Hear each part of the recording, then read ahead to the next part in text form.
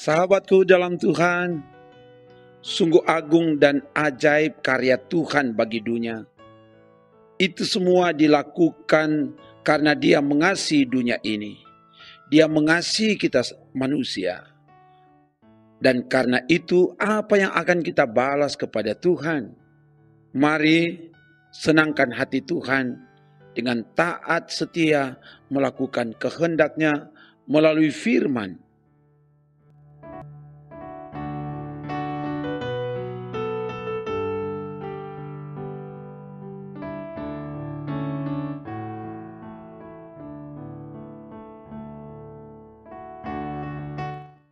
Kita akan baca dan renungkan firman Tuhan.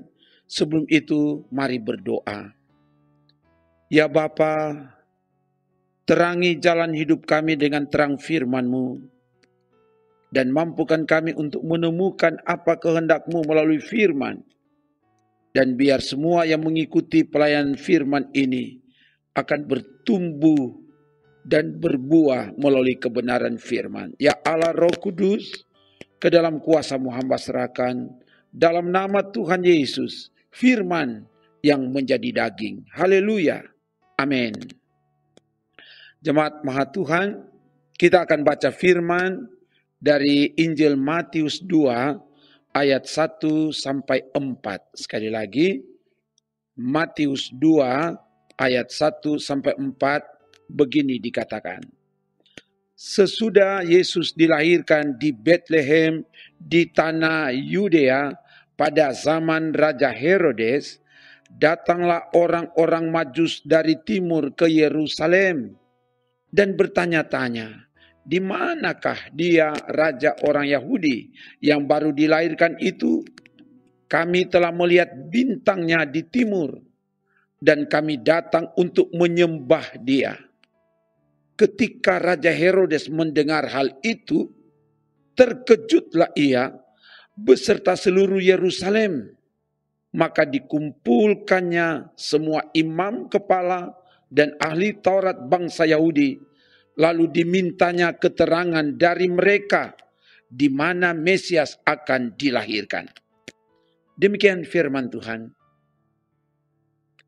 Sahabatku di dalam Tuhan, firman Tuhan disampaikan oleh penginjil Matius bahwa Yesus dilahirkan di Bethlehem di tanah Yudea pada zaman Raja Herodes ayat 1. Lihat juga Lukas 2 ayat 4. Ini penggenapan dari janji Allah sebagaimana disampaikan dalam Mika 5 ayat 1. Tetapi engkau hai Bethlehem Efrata Hai yang terkecil di antara kaum-kaum Yehuda, daripadamu akan bangkit bagiku seorang yang akan memerintah Israel yang permulaannya sudah sejak purbakala, sejak dahulu kala.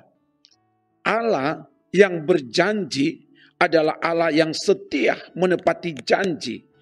Kelahiran Yesus sungguh terjadi pada tempat yang jelas yaitu di Bethlehem di tanah Yudea. Kalau tempat kelahiran Yesus itu sekarang sudah berdiri sebuah gereja namanya gereja Nativity. Nanti dilihat ini gereja Nativity tempat kelahiran Yesus. Di dalam gereja ini ada kandang di mana tempat Yesus dilahirkan. Ada palungan, nanti bisa dilihat di dalam gedung gereja. Ketika Yesus lahir, para majus dari timur atau dari Babel, sekarang Irak, mereka datang ke Yerusalem dan bertanya-tanya, di mana raja orang Yahudi yang baru dilahirkan itu? Kami telah melihat bintangnya di timur. Kami datang untuk menyembah dia. Ayat 1 dan 2 bacaan kita.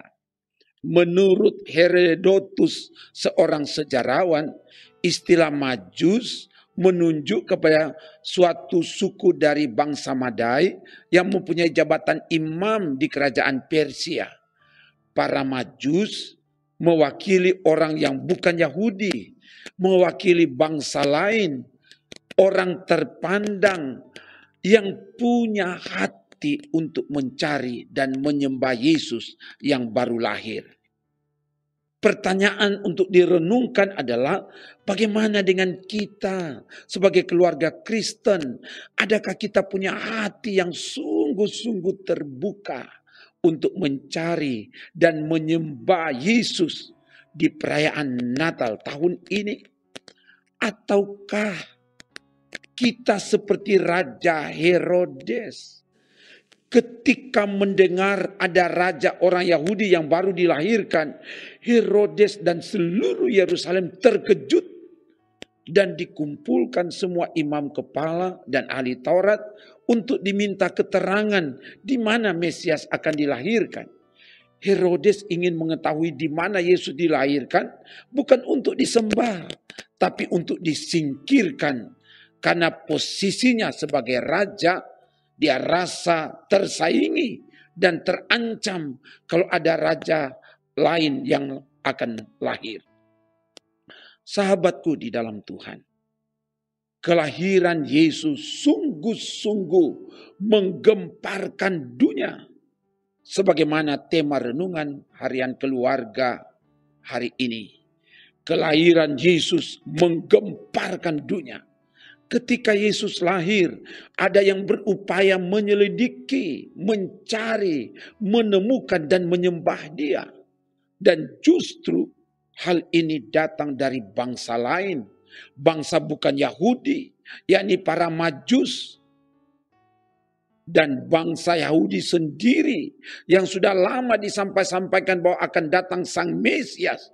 Mereka terkejut, tanda tidak siap dan berupaya menyelidiki, mencari tahu di mana Mesias dilahirkan, bukan untuk disembah tapi untuk disingkirkan. Menjadi pertanyaan untuk direnungkan di mana posisi kita sebagai orang percaya, sebagai keluarga Kristen. Kita seperti para majus yang berupaya mencari dan menyembah Yesus wujud mencari dan menyembah Yesus kiranya itu nyata dalam seluruh aktivitas hidup kita. Kita semakin lebih giat melaksanakan peran tanggung jawab kita di bidang masing-masing. Kita mempersembahkan yang terbaik kepada Tuhan melalui karya-karya terbaik di bidang kita. Semoga demikian. Haleluya. Amin. Mari berdoa. Ya Bapa, terima kasih atas firman-Mu. Biar firman-Mu mengubahkan kami. Dan diberkati semua yang mengikuti pelayanan dari YouTube Gemim Bukit Muria Rikek Manado.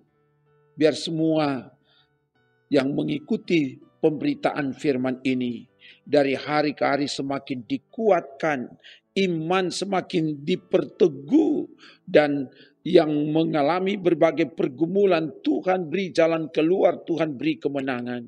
Dan Tuhan terus berkati perangkat pelayan yang ada di Gemim Bukit Moria Rike, termasuk tim multimedia, dan bahkan untuk pekerjaan pembangunan rumah Tuhan.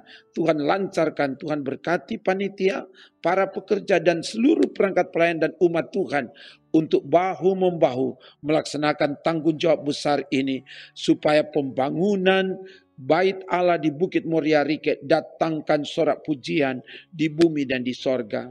Berkati pemerintah yang ada, pemerintah Provinsi Sulawesi Utara yang menopang pembangunan ini. Tuhan berkati Pak Gubernur, Wakil Gubernur dan semua jajaran yang ada dan pemerintah yang ada di kota Manado ini, bahkan seluruh masyarakat yang ada. Tuhan jaga bentengi supaya tetap aman, selamat, terhindar dari penularan virus corona. Dan biar kami menikmati sukacita di dalam Tuhan. Termasuk pemerintah yang ada di bangsa kami, diberkati Tuhan. Tuhan bawa kami untuk menikmati hari esok lebih baik dari hari ini. Terpuji namamu Bapa. Ini doa kami. Kami minta semua ini dalam nama Tuhan Yesus. Haleluya. Amin. Demikian pelayanan firman dan doa, salut dan bangga saudara tetap setia mengikuti pelayanan ini. Kamu sangat spesial, kamu berharga dan mulia di mata Tuhan. Tuhan mengasihimu. Shalom. Salam sehat dan tetap sehat. Jaga iman, jaga imun, so pasti aman. Sebab Tuhan menyelamatkanmu. Amin. Trims.